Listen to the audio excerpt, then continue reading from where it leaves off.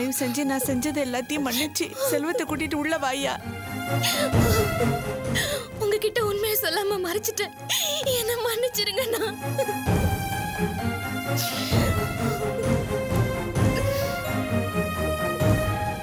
நான் இன்னும் உயிரோட தான் இருக்கேன். என்ன வார்த்தை சொல்றீங்கண்ணா நீ அப்படி நினைச்சதுனால தானே என்கிட்ட இந்த விஷயத்த மறைச்சிட்ட? ஏ ராணி உன் கழுத்துல தாலி ஏறணும்னு அண்ணன் வேற அண்ணன் குடும்பம் வேறன்னு நினைச்சிட்டல்ல? அதனால தானே நான் உங்ககிட்ட ஏதாவது பிரச்சனையான காலில் அவ்வளோ தூரம் கேட்டப்ப கூட எதுவுமே இல்லைன்னு என்கிட்ட போய் சொல்லிட்டு போனல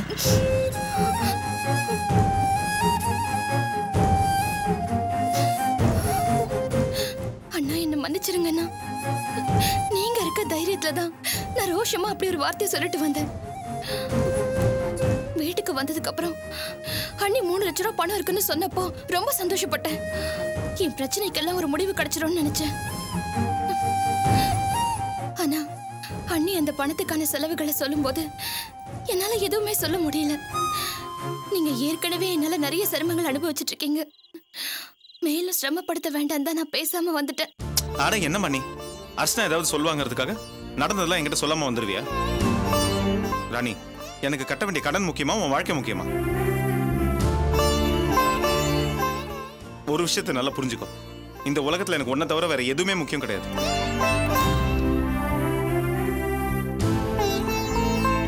சரி அழாத. வா. வீட்ல இருந்து மூணு லட்ச ரூபாய் பணத்தை நான் எடுத்து தரேன். அது கொண்டு போய் உன் மாமனார் வீட்டில் கொடு. இல்ல வேண்டாங்க. இதுக்கு மேலே பணத்தை வாங்கினா நாங்க மனுஷங்களே இல்ல. வீட்ல இருக்கவங்கள நான் சமாளிச்சுக்கிறேன். இல்ல மாப்ள என் தங்கச்சி ரோஷமா நான் பணத்தோட தான் வருவேன்னு சொல்லியிருக்கா. நீங்க ஏதாவது சொல்லி அவங்கள சமாதானப்படுத்துனீங்கன்னா அது எங்க குடும்பத்துக்கு அவ்வளவு கௌரவமா இருக்காது. ராணியும் இதையே தான் சொன்னா. நான் என்ன சொல்றேன்னா? இல்ல. இந்த விஷயத்துல ராணி சொல்றதுதான் சரி. ராணி நான் அர்ச்சனா கிட்ட பேசி உனக்கு அந்த பணத்தை எடுத்து தரேன். நானே உன் கூட வந்து உன் மாமனார் வீட்டில் ஒன்று விட்டு வரேன். வா. செல்வம் அர்ச்சனா கிட்ட இப்போ பணத்தை கேட்க வேணாம்ப்பா என்னப்பா சொல்றீங்க? ஆமாப்பா. காலையில் அர்ச்சனா உன்ட்ட என்ன சொல்லுச்சுன்னு ஞாபகம் இல்லையா? அது அதுக்கு எடுத்து வச்ச பணத்தை அது அதுக்கு தான் செலவு பண்ணணும்னு சொல்ல? அது மட்டும் இல்லாமல் தனக்கே ஏதாவது ஆபத்து வந்தால் கூட இந்த மூணு லட்ச ரூபாயில் கை வைக்க வேணாம்னு சொல்லிச்சா இல்லையா? அப்படி சொன்ன அந்த பொண்ணுகிட்ட நீ இப்போ எதை சொல்லி போய் பணம் கேட்க போற? ஐயோ அப்பா.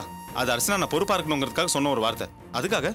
ராணி வாழ்க்கை எக்கடாவது கெட்டு முன்னால போட்டோம். அந்த பணத்தை நான் கேட்க கூடாதுன்னு சொல்றீங்களா? இல்லப்பா உனக்கு ராணி எப்படி முக்கியமோ அதே மாதிரி அர்ச்சனாவுக்கு நீ முக்கியம். நீ நல்லா இருக்கணும் நம்ம குடும்பம் நல்லா இருக்கணும் தான் அர்ச்சனா நினைக்குது. அதுல என்ன தப்பு இருக்கு? அது மட்டும் இல்லை செல்வம். அவ கல்யாணம் பண்ணிட்டு வந்த நாள்ல இருந்து உனக்காகவும் நம்ம குடும்பத்துக்காகவும் எவ்வளோலாம் தியாகம் பண்ணியிருக்கு அவ நிலைமையில இருந்து கொஞ்சம் யோசனை பண்ணி பார்ப்பா. இப்ப போய் நீ அர்ச்சனா கிட்ட என்னன்னு சொல்லி பணம் கேட்ப எங்கள் அப்பா ராணி கல்யாணத்துக்கு முன்னாடியே டப்ளிங் பண்ண போய் ஒரு லட்ச ரூபா வாங்கி தொலைச்சிட்டாரு. அதை மாப்பிள்ள தான் கட்டி சரி பண்ணாரு. இப்போ ஏதோ ஒரு சந்தர்ப்பத்தில் ராணி போய் ரெண்டு லட்ச ரூபாய் தொலைச்சிட்டு வந்துருச்சு. அதனால இப்போ இருக்கிற மூணு லட்ச ரூபாய் கூட நான் போய் அந்த கடன் அடைக்க போறேன்னு கேட்க போறியா? அப்படி கேட்டால் அந்த பொண்ணுக்கு கோவம் வராதா? அப்படி கோவப்பட்டு அதை போய் நம்ம தப்புன்னு சொல்ல முடியுமா? செல்வம் இதனால அந்யோன்யமா இருக்கிற உங்க வாழ்க்கையில பெரிய பிரச்சனை வந்துடாதா? சரிப்பா. இப்போ இதுக்கு என்னதான் வழி? எனக்கு ஒரு யோசனை தோணுது. என்ன சொல்லுங்க. அது வந்து நம்ம ராணியோட வாழ்க்கையும் கெட்டு போகக்கூடாது அதே நேரம் அர்ச்சனாவோட மனசும் நோகக்கூடாதுன்னா நீ ஒரு சின்ன பொய் சொல்லணும். பொய் சொல்லணுமா? ஆமாம் செல்வம். இந்த தேவைக்குன்னு சொல்லி பணம் கேட்காம நந்தினிக்கு ரெண்டு லட்ச ரூபா கொடுக்கணும். ஸ்பேர் பார்ட்ஸ் வாங்க ஒரு லட்ச ரூபா பணம் கொடுன்னு அதை வாங்கிட்டு வந்து கொடு. இவர்கிட்ட கொடுத்து அந்த பிரச்சனை தீர்த்துடலாம்ல?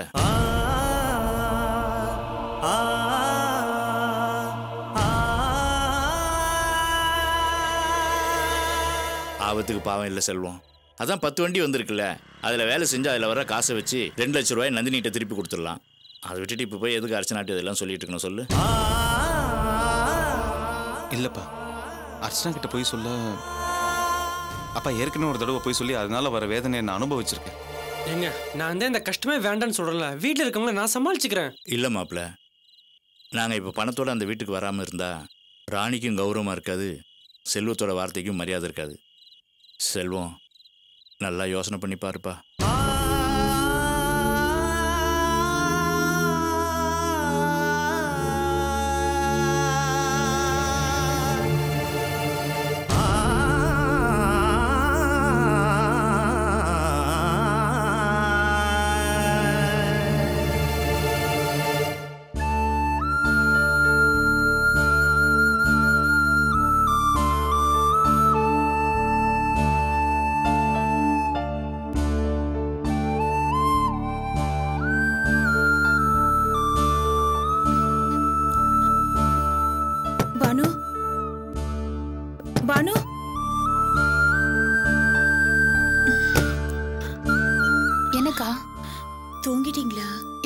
சாப்பிட்டு முடிச்சோம். சொல்லுங்க. இல்ல இவ்வளவு நேரம் ஆகி அவரை காணோம். என்னாச்சுன்னே தெரியல. உன் போனு கொஞ்சம் கூட அவருக்கு ஒரு ஃபோன் பண்ணிக்கிறேன். இருங்க எடுத்துட்டு வரேன்.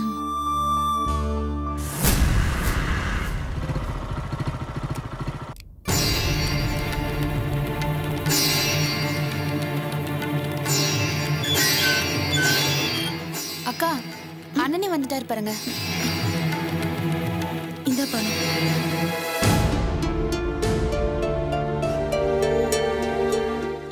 இவ்ளோ லேட்டா வரீங்க ஒருவேளை வேலை முடியலையே என்னவோ? ஷெட்லயே தங்கிட்டீங்களோன்னு தான். பானு கிட்ட ஃபோன் வாங்கி உங்களுக்கு ஃபோன் பண்ணிட்டே இருந்தேன். அதுக்குள்ள நீங்க வந்து நிக்கிறீங்க. சரி உள்ள வாங்க.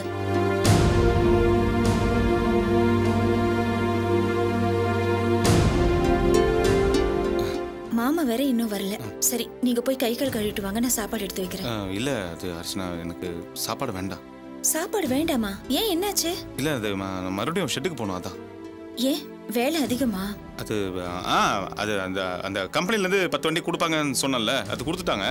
அது நைட்டும் டேயும் வேலை பார்த்தா தான் ஒரு வாரத்துக்குள்ள வண்டியை ரெடி பண்ண முடியும். அப்படின்னா நீங்க ஏன் வீட்டுக்கு வந்தீங்க? என்கிட்ட சொல்லியிருந்தா நானே ஷெட்டுக்கு சாப்பாடு கொண்டு வந்திருப்பேன்ல. இல்ல கடையில எங்கேயாவது சாப்பிட்டுட்டு எனக்கு ஒரு ஃபோன் பண்ணி சொல்லிருக்கலாம்ல அஹ், அது இல்ல நான் இப்போ வீட்டுக்கு வந்ததே உங்ககிட்ட பணத்தை வாங்கிட்டு போலாம் தான். பணமா? என்ன பணம்? அது அதான் நம்ம நந்தினிக்கு கொடுக்குறோம்னு சொன்னோம்ல அந்த பணம். நந்தினி ஊர்ல இருந்து வந்தாச்சா? இந்த ராத்திரியில பணத்தை கொண்டு போய் கொடுக்க போறீங்க? ஆ நந்தினி ஊர்ல இருந்து வந்தாச்சு அர்ச்சனா. கொஞ்ச நேரத்துக்கு முன்னாடி தான் ஃபோன் பண்ணி பணம் கொஞ்சம் அர்ஜென்ட்டாக வேணும்னு சொன்னா. அதான். அப்படியா? சரி இருங்க நான் போய் எடுத்துட்டு வரேன்.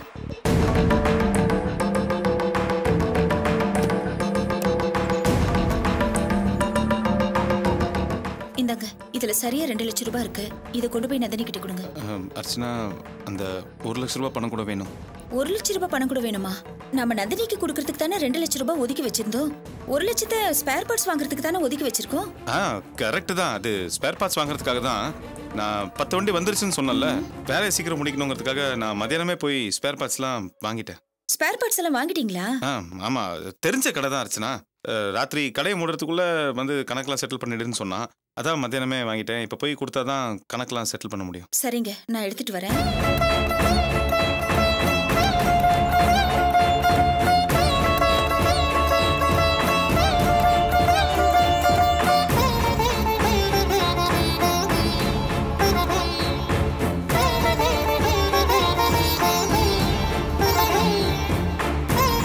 இந்தாங்க. இதுல மொத்தம் மூணு லட்சம் இருக்கு.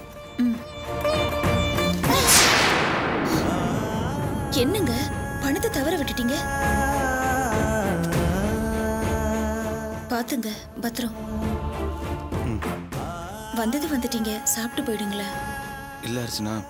ஒரு பக்கம் நந்தினி இந்த பணத்துக்காக காத்துட்ருப்பா. இன்னொரு பக்கம் ஸ்பேர் பார்ட்ஸ் கடைக்காரன் கடையை மூடுறதுக்குள்ளே நான் போய் இந்த பணத்தை கொடுக்கணும். அதான். சரிங்க போயிட்டு வாங்க. சரி வரேன். அப்புறம் ஷெட்டில் வேலை அதிகமாக இருக்கிறதுனால நான் ராத்திரி வருவேனா இல்லையான்னு தெரியல. நீ சாப்பிட்டு பத்திரமா கதை மூடிட்டு படுத்துக்கோ. சரிங்க நீங்க சாப்பிடாம இருந்துடாதீங்க.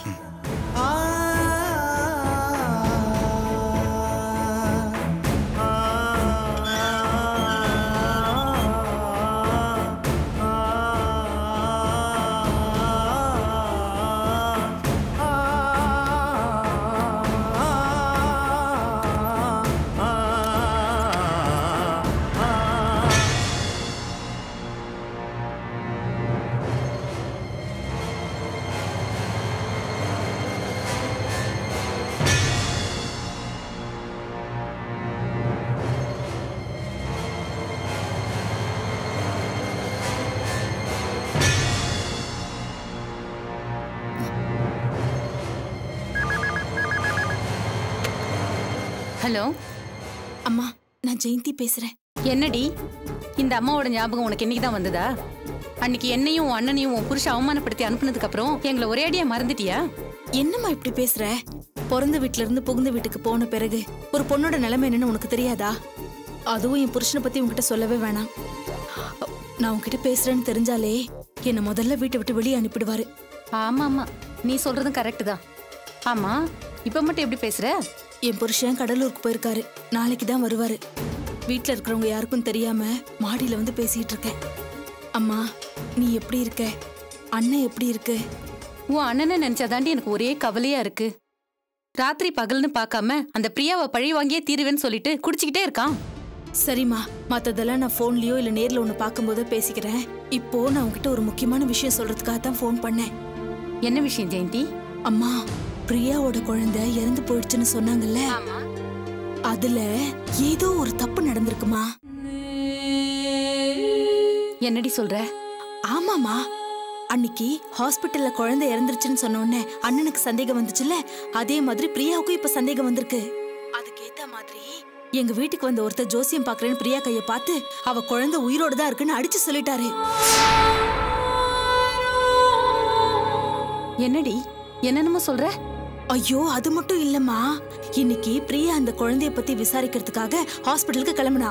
என் மாமியாரு அவளை போக வேண்டாம்னு சொன்னாங்க. ஆனா அதையும் மீறி அவ ஹாஸ்பிட்டலுக்கு கிளம்பி போயிட்டா. ஓ இவ்ளோ விஷயம் நடந்து போச்சா? ஆமாமா என் மாமியாரு நான் ஹாஸ்பிட்டலுக்கு போலேன்னு சொல்றதும் பிரியா நான் உன்னை அங்க பார்த்தேன்னு சொல்றதும் ஒரே குழப்பமா இருக்குமா?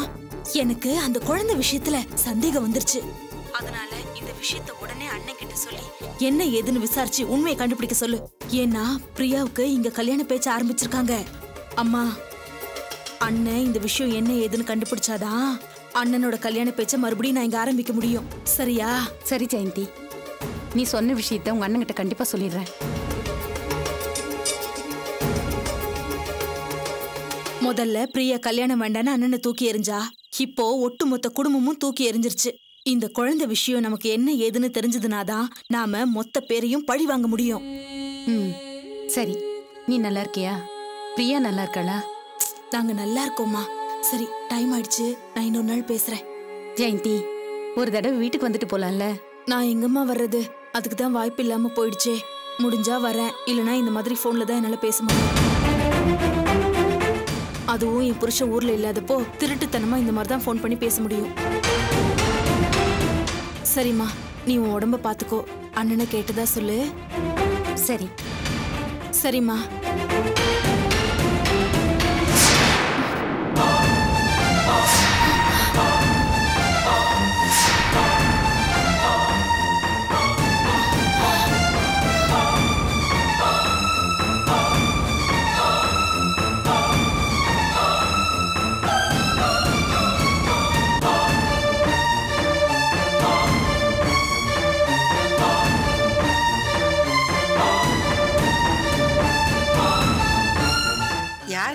பேசிட்டு இருந்த உங்க அம்மா கிட்டயா?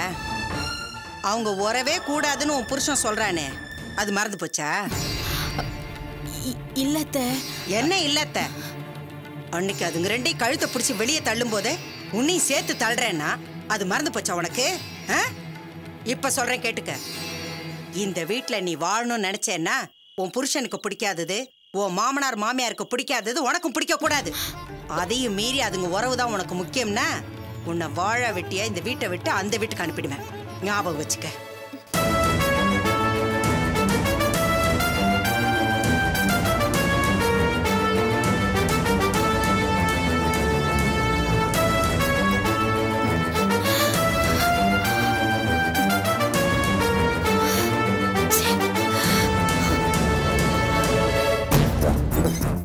ஏங்க எங்கங்க கிளம்புறீங்க? நான் எங்க இன்னும் ஒரு நிமிஷம் கூட இந்த வீட்ல இருக்க முடியாது. எங்க போறீங்க? நான் நல்ல சாப்பாடுனா நாக்க சொல்லிக்கிட்டு சாப்பிடுறவன் தான். அதுக்காக ஜெயில் சாப்பாடுலாம் சாப்பிட முடியாதுமா? விடு இருங்க. என்னங்க. என்ன உளறீங்க? நான் ஒன்றும் வளரல நடக்க போற உண்மைதான் நான் சொன்னேன். என்ன சொல்றீங்க? காலையில வீட்டை விட்டு போன ராணி இன்னும் வீடு திரும்பல. போலீஸ்ல போய் சொல்லியிருப்பா. போலீஸ் வந்து குடும்பத்தோட அள்ளிட்டு போய் அடிக்க போறாங்க. என்னால போலீஸ்லயும் அடி வாங்க முடியாது களியும் திங்க முடியாது. ஏங்க என்னங்க புதுசா ஒரு பீதியை கலப்புறீங்க நாமளே ஒண்ணும் பணம் கேட்கலையே? அவள தானே கொண்டு வரேன்னு சொல்லிட்டு போனா? அவளா விருப்பப்பட்டு ஒண்ணும் போகலையே? உன் பேச்சு தாங்க முடியாம தானே போயிருக்கிறா? ராணி போய் அவங்க அண்ணன் கிட்ட சொல்லிருப்பா அவங்க அண்ணன் போலீஸ்ல கம்ப்ளைண்ட் கொடுத்துருப்பான். வரதட்சணை கொடுமைன்னு போலீஸ் வந்து நம்மள அள்ளிட்டு போப் போறாங்க. என்னால அடியெல்லாம் வாங்க முடியாதுமா? ஆள விடு. ஏங்க. மாப்ள ஐயோ போலீஸ் வந்துருச்சு போல இருக்கு. உங்களோட சேர்ந்து நானும் ஜெயில கழித்திக்கணும் போல இருக்கு. வாசுகி போய் யாருன்னு பாரு.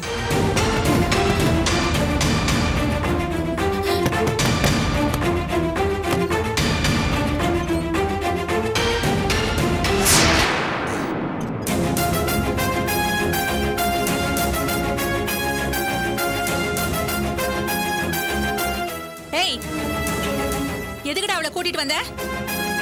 என்னமோ பெரிய இவ மாதிரி பேசிட்டு போனா? வந்தா பணத்தோட தான் வருவேன்னு சவால் விட்டா? என்ன? உங்க அண்ணன் பணம் இல்லைன்னு சமாதானம் சொல்லி அனுப்பிட்டானா? வழிய விடு. உள்ள போய் முடியாது. பேசிக்கலாம். இவ வந்தா பணத்தோட தான் வருவேன்னு சவால் விட்டா? இப்ப என்ன? உள்ள வந்து பேசலாம்னு சமாதானம் சொல்றீங்க? சரோஜா இங்க பார். புரியாம பேசாத. நல்ல வேலை போலீஸ் ஜீப் எதுவும் வரல. அவங்க கம்ப்ளைண்ட் கொடுக்காம இருந்திருக்காங்க. சமாதானமா பேசி போயிடலாம் இல்ல போலீஸ் ஸ்டேஷனுக்கு போற மாதிரி இருக்கும். நீ வாயை மூடிட்டு சும்மா இருயா இத பாரு. பணத்தோட வந்தாதான் உள்ள விடுவேன். இல்லைன்னா அப்படியே வெளியே போ சொல்லு. பணம் இல்லாம திரும்பி வர அளவுக்கு ரோஷன் கட்டி அண்ணன் என்ன வளர்க்கல. பணத்தோட தான் வந்திருக்கேன்.